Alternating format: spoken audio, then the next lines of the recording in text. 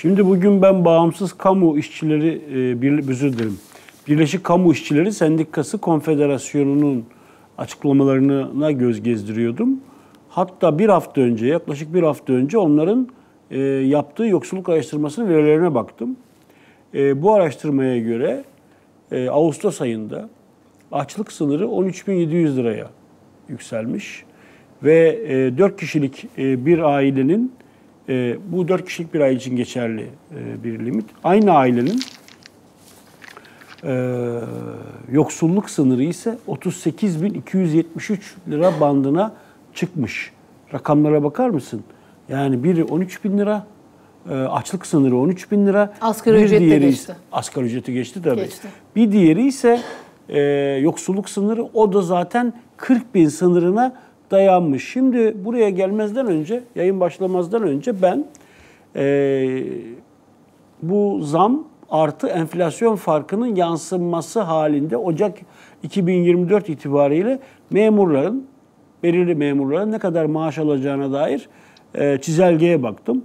Örneğin e, öğretmen Ocak 2024 itibariyle 30 bin lira, 30 bin 600 lira maaş alacakmış. 30 bin 652 lira. Zamdan önce mi sonra mı dedin? Zamdan sonra. Zamdan sonra Zamdan alacağım. sonra bu. Bu zamlı hali. Vurguluyorum bak. Bir de altını çiziyorum değerli izleyenler. Sev, yani sevgili yurttaşlar.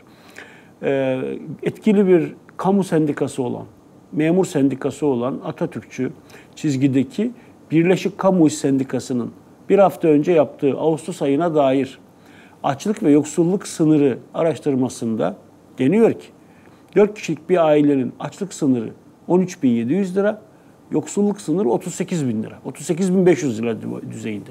Bunu hatırda 40 bin lira tutalım. geldi neredeyse evet. Bunu hatırda tutalım. Ee, Ocak 2024 itibariyle enflasyon farkı artı %15 zamla beraber memur maaşları ne olacak? Öğretmen 30.652 lira olacak. Polis memuru 33.954 lira olacak. Uzman doktor ki bu mesele bizim için kanayan bir yara 42.736 lira olacak. 42.030 yani e, kaç euro dediğimizde zannedersem 1200 euro civarında bir para. Buradan giden doktorlar ise Avrupa'da 3-4-5 bin euro civarında para kazanıyorlar.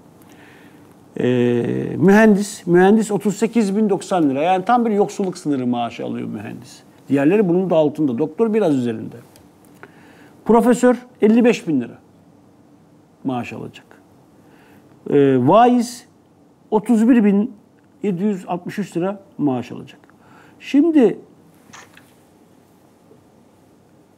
yeni yapılan zamlarla beraber, enflasyon farkı artı zamla beraber görüyoruz ki e, memur öğret bir öğretmenin, bir mühendisin, bir vaizin, bir polis memurunun, bir mühe- e, işte e, müdürün e, Ocak 2024 itibariyle alacağı maaş Ağustos ayının açlık sınırının altında.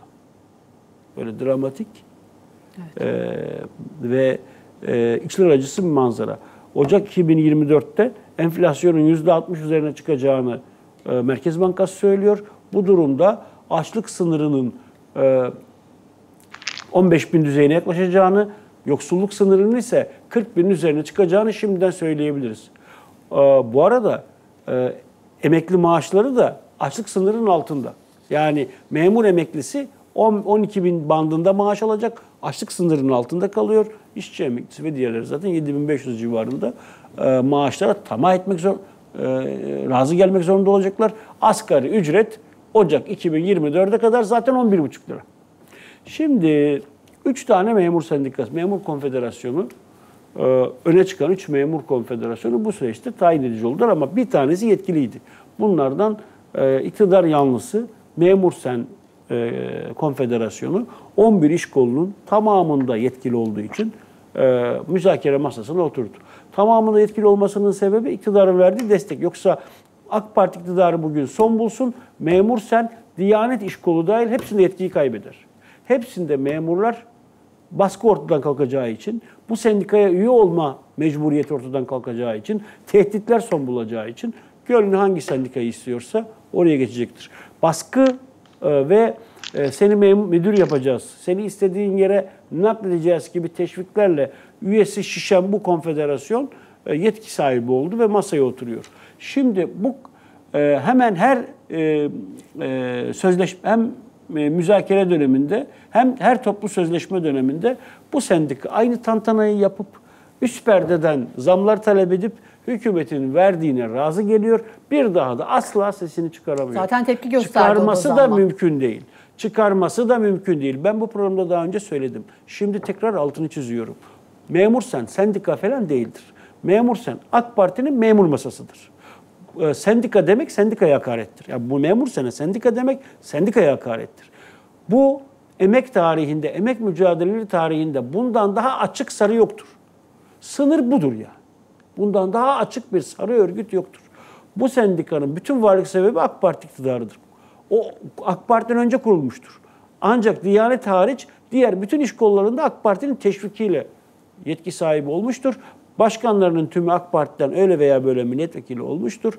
Sadece seçimlerde değil, referandumlarda bile, yerel seçimlerde bile AK Parti destek vermiş bir sarı kuruluştur. Bu sarı kuruluş adeta hükümetin verdiğine memuru razı etme unsuru olarak o masada oturuyor. O masada oturuyor. Ve zaten e, toplu sözleşme süreci başladığında bu niteliğini gizlemek için üst sınırdan, üst perdeden rakamlar açıklamıştı. Ne demişti? Memur sancılar ne dediniz kardeşim siz? Ne dediniz? Yüzde 35. 3-4 döneme ayırmış. Tabii. Birinci dönem, ikinci dönem. üç- Birinde yüzde 35 istiyor. Öbüründe ikinci dönemde yüzde 15 istiyor. İki yılda toplam yüzde yüzde on. Ne yüzde? Yü- 2024 yılında yüzde 70 istiyor ya. Tabii ikinci Yüzde- yılda da 2025'te de yüzde 40. yüzde toplam 40, yüzde 110 yüz. istiyordu. Şimdi yüzde 70 istedin. Memur senciler. Yüzde 70 istedin. Hükümet yüzde 25 verdi. İş hakeme gitti. Hakem de zaten e, hükümetin atadığı 11 he- heyet hakemin 11 üyesinden 7'sini Cumhurbaşkanı atıyor. Geri kalan sendikacıları da zaten aynı e, yani aşağı yukarı aynı çizgide düşünüyorlar. E bu hakem kurulundan da ne çıkacağı belliydi. Çünkü daha önce de aynı yollar denendi. Aynı sonuca varılmıştı.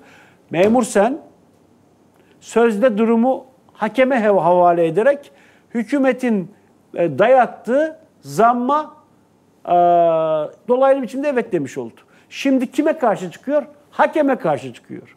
Hükümete karşı çıkmamış oluyor yani. Ya hakem hakemin üyelerinin tamamı Cumhurbaşkanı tarafından belirlenmiş. Hakem memur senin talebi üzerine devreye girdi ve üstelik bir de 5 gün müzakere yapıp 5 gün sanki rakamı yükseltecek. 5 gün konuşup konuşup hükümetin verdiği rakamı kabul ettiler. Hükümet ne veriyor? %20 enflasyon farkı artı %25 veriyor. Peki arkadaş şu Merkez Bankanızın açıkladığı enflasyon oranı ne?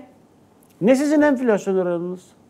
Ya yüzde 58 yıl ee, sonra. %58 yıl sonu için önermişsiniz. O da 2024 güncellenecek. Tabii. 2024'ün ortasına kadar enflasyon yükselmesini öngörüyorsunuz. İkinci yarısından sonra düşeceğini söylüyorsunuz. Daha sonra e, 2024 için de %30 30 küsürlü rakamları öngörüyorsunuz. Ya bu hepsinin altında. Hepsinin altında bu rakam. İkinci yıl yüzde Belki- 33, 3 yıl Memur sonra yüzde 15'e memur senin düşebilir belki bildirisini okudum. enflasyon. Memur senin bildirisini okudum. Memur sen bildirisinde hakem heyetini suçluyor. Suçlasana hükümet. Suçlasana Cumhurbaşkanı'nı. Cumhurbaşkanı yaptı. Bu, hake, bu hakem heyeti Cumhurbaşkanı tarafından oluşturuluyor.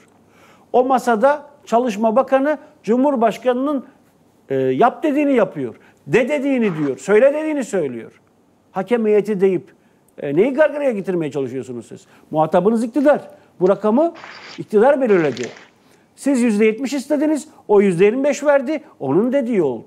Şimdi hakem heyetini itham ediyor, kamu işvereni diyor, efendim enflasyon koşullarını gözetmemiştir diyor, Merkez Bankası'nın belirlediği e, enflasyon farkının altında kalmıştır diyor.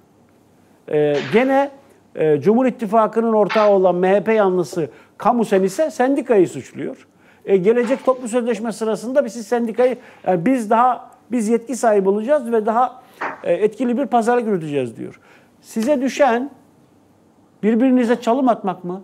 Size düşen nedir? Ey memur senciler, ey kamu senciler, e, Biriniz yüzde yetmiş zam talep ettiniz, diğeriniz yüzde yüz talep ettiniz. Ve sizde yüzde yirmi beş verdiler. Ne bekliyorsunuz? Ne güne duruyorsunuz? Üretimden gelen gücünüzü kullansanıza. Üretimden gelen direnme hakkınızı kullansanıza. Hakkınızı arasanıza. Aranızda öğretmenler var. Aranızda avukatlar var. Aranızda en yetkili kurumlarda çalışan e, işte kamu görevlileri var. Siz e, reva görülen yüzde yirmi beşlik şu zamma itiraz etmeyeceksiniz de neye itiraz edeceksiniz? Neye karşı koyacaksınız? E, ikisi de dizlerini kırdılar. Şimdi efendim gelecek maçlara bakalım demiyor. Ne gelecek maçlara bakalım? Söylesinler. E, memur sencilerde, e, kamu sencilerde söylesinler. Şu öğretmenin al, öğretmenin 2024 itibariyle, 2024 başı itibariyle ek dersleri falan saymıyorum. Aldığı 30 bin lirayla kendi başına, bir başına e, Ankara'da, İstanbul'da ev tutup okuluna devam etmesi mümkün müdür? Cevap versinler.